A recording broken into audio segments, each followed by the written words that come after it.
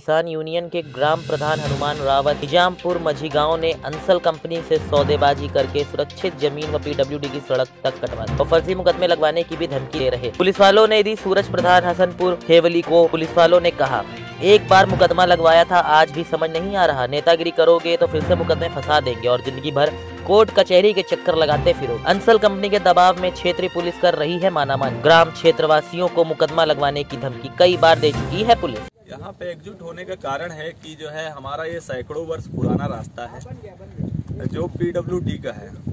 और इसको जो है अंसल कंपनी द्वारा और कुछ किसान यूनियन के जो है आ, लोगों से मिल करके मिल करके या ग्राम प्रधान से मिल करके हनुमान रावत से मिल करके सौदेबाजी करके इसको जो है कटवा दिया गया है।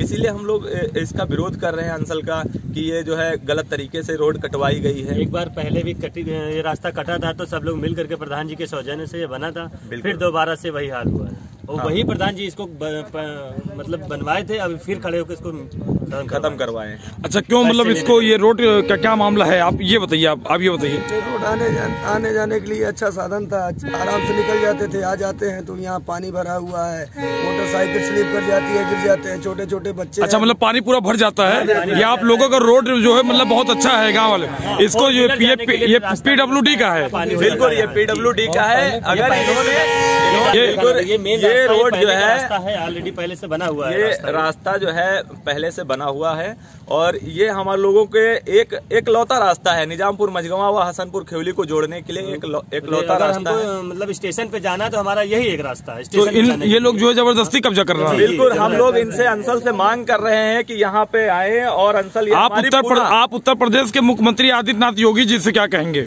बिल्कुल उनकी जो है सरकार ठीक चल रही है और अच्छी चल रही है मगर ये जो अधिकारी हैं जो इनके नेकपाल से लेकर के कानून गो से लेकर के तहसीलदार और एसडीएम साहब जो गाँव में इतने अवैध कब्जों को जो है अवैध कब्जे करवाए हैं अंसल अंसल के लिए।